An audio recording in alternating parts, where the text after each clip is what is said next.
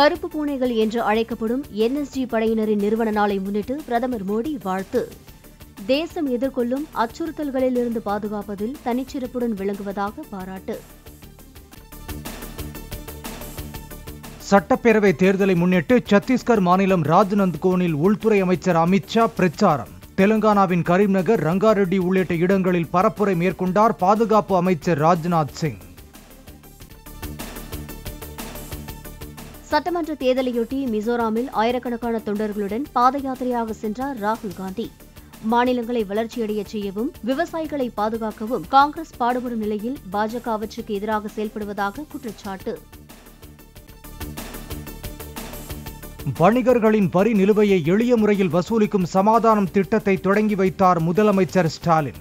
ஐம்பதாயிரத்துக்கும் கீழ் நிலுவை வைத்திருந்தவர்களுக்கான தள்ளுபடி சான்றிதழ்களை வழங்கினார். மாற்றுத்திறனாளிகளுக்கான நான்கு சதவீத இடஒதுக்கீட்டில் அரசு துறை காலி பணியிடங்களை ஓராண்டுக்குள் நிரப்ப அரசு நடவடிக்கை. தலைமைச் செயலகத்தில் நடைபெற்ற மாற்றுத்திறனாளிகளுக்கான மாநில ஆலோசனை வாரிய கூட்டத்தில் முதலமைச்சர் ஸ்டாலின் பேச்சு. மாற்றுத்திறனாளிகளுக்கு நான்கு விழுக்காடு இடஒதுக்கீட்டின் கீழ் அரசு துறைகளில் உள்ள பின்னடைவு காலி பணியிடங்களை ஓராண்டிற்குள் நிரப்ப நடவடிக்கை மேற்கொள்ளப்பட்டு வருகிறது. ககன்யான் திட்டத்தில் ஆளில்லா கலத்தை விண்ணுக்கு அனுப்பி மீண்டும் பாதுகாப்பாக பூமிக்கு கொண்டு வருவது தொடர்பான சோதனை. சென்னை அடுத்த ஸ்ரீஹரிகோட்டாவில் வரும் இருபத்தோராம் தேதி காலை ஏழு மணி முதல் ஒன்பது மணி வரை நடைபெறும் என இஸ்ரோ அறிவிப்பு. மத்திய அரசின் உடான் திட்டத்தினால் சேலம் விமான நிலையத்தில் இரண்டு ஆண்டுகளுக்கு பிறகு மீண்டும் தொடங்கிய விமான சேவை. அமைச்சர்கள் நேரு சக்கரபாணி ஆகியோர் கேக் வெட்டி பயணிகளுக்கு வழங்கி வரவேற்பு.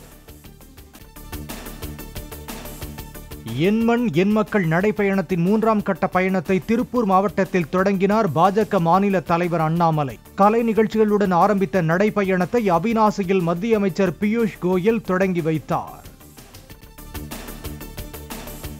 செந்தில் பாலாஜி ஜாமீன் மனு மீதான இருதரப்பு வாதங்கள் நிறைவடைந்ததை அடுத்து தீர்ப்பை தள்ளி வைத்தது சென்னை உயர்நீதிமன்றம். உடல்நிலையை கருத்தில் கொண்டு ஜாமீன் அளிக்குமாறு செந்தில் பாலாஜி தரப்பில் விடுத்த கோரிக்கைக்கு அமலாக்கத்துறை எதிர்ப்பு. செந்தில் பாலாஜிக்கு சிறை மருத்துவமனையிலேயே சிகிச்சை அளிக்க முடியாதா என நீதிபதி கேள்வி. உடல்நிலை தொடர்பான ஸ்டான்லி அரசு மருத்துவரின் அறிக்கையை தாக்கல் செய்து செந்தில் பாலாஜி தரப்பில் வாதம். செந்தில் பாலாஜியை வெளியே விட்டால் சாட்சிகளை கலைத்து வழக்கை பலவீனமாக்கி விடுவார் என அமலாக்கத்துறை கருத்து.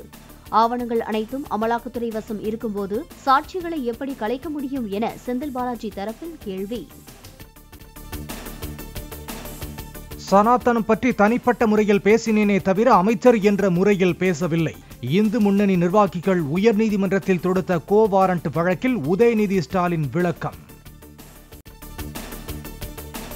தமிழகத்தின் முப்பத்து மூன்று இடங்களில் ஆர் எஸ் எஸ் அணிவகுப்புக்கு அனுமதி வழங்க காவல்துறைக்கு உயர்நீதிமன்றம் உத்தரவு. உச்சநீதிமன்ற வழிகாட்டுதலை பின்பற்றி அணிவகுப்பு நடத்தவும் சீருடையின்றி பேரணியில் யாரையும் அனுமதிக்கக்கூடாது என்றும் நிபந்தனை. வாச்சாத்தி வழக்கில் சிறை தண்டனையை எதிர்த்து ஐஎஃப்எஸ் அதிகாரி எல். நாதன் பாலாஜி உள்ளிட்ட இருபது பேர் தாக்கல் செய்த மேல்முறையீடு தள்ளுபடி. குற்றவாளியாக அறிவிக்கப்பட்ட வனத்துறை அதிகாரிகள் ஆறு வாரங்களுக்குள் தருமபுரி நீதிமன்றத்தில் சரணடைய உச்சநீதிமன்றம் உத்தரவு.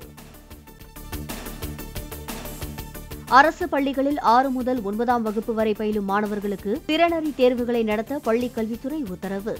நாளை முதல் இருபதாம் தேதி வரை தேர்வுகளை நடத்துவது குறித்து அனைத்து மாவட்ட முதன்மை கல்வி அலுவலர்களுக்கும் சுற்றறிக்கை. லியோ படத்திற்கு அதிகாலை நான்கு மணி காட்சிக்கு அனுமதி அளிப்பதில் பாதுகாப்பு உள்ளிட்ட பல்வேறு சிக்கல்கள் உள்ளதாக அரசு தரப்பில் உயர்நீதிமன்றத்தில் வாதம். ரசிகர்கள் காட்சிக்கு அனுமதி தரக்கூடாது என மதுரை கிளையில் அரசு தொடர்ந்த வழக்கின் ஆவணங்களை தாக்கல் செய்யவும் உத்தரவு.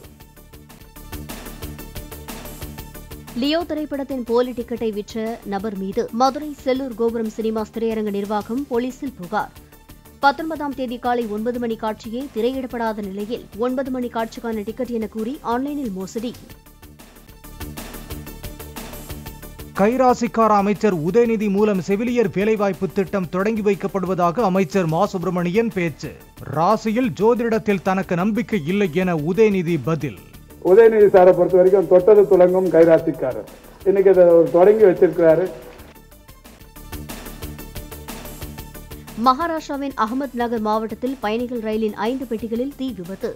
பயணிகள் அனைவரும் பாதுகாப்பாக வெளியேறி உயிர் தப்பினர் இஸ்ரேல் ஹமாஸ் போர் பத்தாவது நாளை எட்டியுள்ள நிலையில் காசாவில் இரண்டாயிரத்து எழுநூற்று ஐம்பது பாலஸ்தீனர்கள் உயிரிழந்ததாக தகவல். இஸ்ரேல் தரப்பில் இருநூற்று தொன்னூறு ராணுவ வீரர்கள் உட்பட ஆயிரத்து நானூறு பேர் பலி. ஹமாஸ் போராளிகள் பிடியில் உள்ள காசா பகுதியை இஸ்ரேல் மீண்டும் ஆக்கிரமிக்க முயற்சிப்பது மிகப்பெரிய தவறாக முடியும்.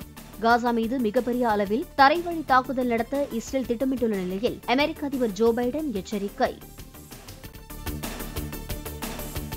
இரண்டாயிரத்து இருபத்தி எட்டாம் ஆண்டு லாஸ் ஏஞ்சல்ஸ் நகரில் நடைபெறும் ஒலிம்பிக்கில் கிரிக்கெட் ஸ்குவாஷ் உள்ளிட்ட ஐந்து விளையாட்டுகள் சேர்க்கப்படும். இருபது ஓவர் ஆட்டமாக கிரிக்கெட் போட்டிகள் நடத்தப்படும் என சர்வதேச ஒலிம்பிக் கமிட்டி அதிகாரப்பூர்வ அறிவிப்பு. தமிழ்நாட்டின் பெரும்பாலான மாவட்டங்களில் இன்று இடி மின்னலுடன் மழை பெய்ய வாய்ப்பு. திருநெல்வேலி மாவட்ட மலைப்பகுதிகள் குமரி தென்காசி மாவட்டங்களில் ஓரிரு இடங்களில் கன முதல் மிக கனமழை பெய்யக்கூடும் என வானிலை மையம் தகவல்.